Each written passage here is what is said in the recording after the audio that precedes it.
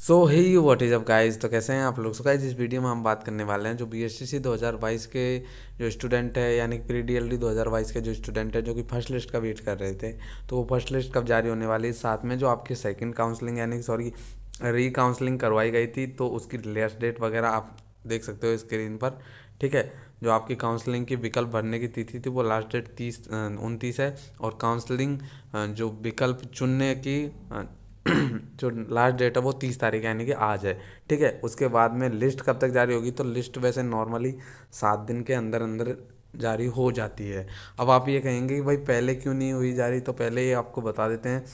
जो आपके counselling schedule था, वो दोबारा चेंज हुआ है। तो ये जो कॉलेज रह गई थी, दस कॉलेज तो इनको ऐड होने के चक्कर में फिर सात दिन के अंदर अंदर रिज़ल्ट नहीं आया था। वैसे नॉर्मली सात दिन के अंदर रिज़ल्ट आ जाता है। तो लगभग लगभग आपके जनवरी सात तक या छः तक जो आपका रिज़ल्ट है, वो जारी कर दिया जाएगा। फ़र्स्ट लिस्ट जारी हो जाएगी। अब फ़र्स्ट लिस्ट में किन किन विद्यार्थियों को चयन होगा? तो लगभग लगभग पचास से पचपन परसेंट स्टूडेंटों को कॉलेज मिल जाएगी फ़र्स्ट लिस्ट में, है ना?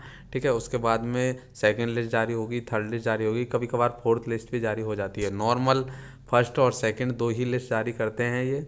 उसके बाद में ठीक है? अगर सीट खाली रहती है तो फिर जारी करेंगे। अब कितनी क्या सीटों पे कंपटीशन है वो भी मैं बता देता हूँ आपको। तो आप स्क्रीन पर देख सकते हो, पच्चीस हज़ार छः सौ सत्तर सीटों के लिए छियानवे हज़ार दावेदार कतार में है तो कंपटीशन कुछ ज़्यादा ही होने वाला है। ये मान के चलो, कम से कम चार गुना कंपटीशन बढ़ चुका है अब, ठीक है? लगभग लगभग तीन से साढ़े तीन स्टूडेंट एक सीट पर है। ठीक है? तो जो जिन भी स्टूडेंटों के लगभग लगभग आराम से तीन सौ पचास प्लस है तो उनको तो कॉलेज मिल जाएगी। जिनके नहीं है और राजस्थान क्या है उनको भी आराम से कॉलेज मिल जाएगी। फ़र्स्ट लिस्ट में नहीं तो सेकंड लिस्ट में तो कॉलेज मिल जाएगी। और आप, आपके कितने नंबर है तो वीडियो के नीचे कमेंट कर देना। हम भी आपको रिप्लाई दे देंगे कि भाई, होगा या नहीं होगा। ठीक है? और कोई डाउट वगैरह रह गया तो आप वीडियो के नीचे कमेंट कर सकते हो। या फिर आप हमें डायरेक्ट इंस्टा व्हाट्सएप के थ्रू भी कॉन्टेक्ट कर सकते हो, जिनके लिंक डिस्क्रिप्शन में ऑलरेडी हमने दे रखे हैं। मिलते हैं किसी एक और वीडियो में तब तक के लिए बाय